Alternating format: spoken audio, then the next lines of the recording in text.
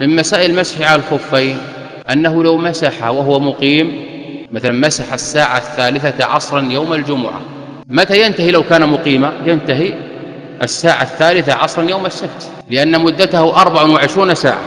لكنه هنا مسح ثم سافر فالمعلوم أن المسافر له اثنتان وسبعون ساعة. هل يستمر إلى يوم الاثنين الساعة الثالثة عصر أم لا؟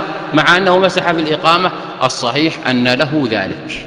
ما دام أنه خرج من بلدته قبل أن ينتهي وقت المسح على الخفين له الصحيح له ذلك.